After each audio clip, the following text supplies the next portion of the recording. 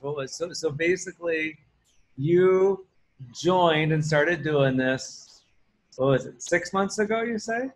Uh, end of August, so just four, three months and a, four months almost.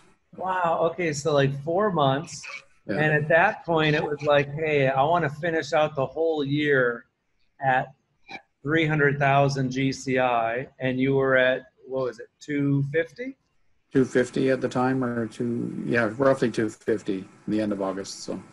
Gotcha. So hey, 250. I want to get it to 300. And now we still got 45 days left in the year, but now you're at what? 425, so. Nice. Merry Christmas. Thank you.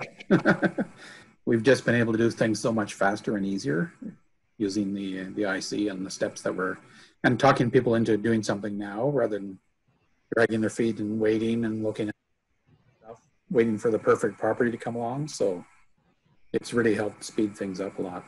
Hmm. So interesting. Okay, so so the the income, my gosh, has really gone up.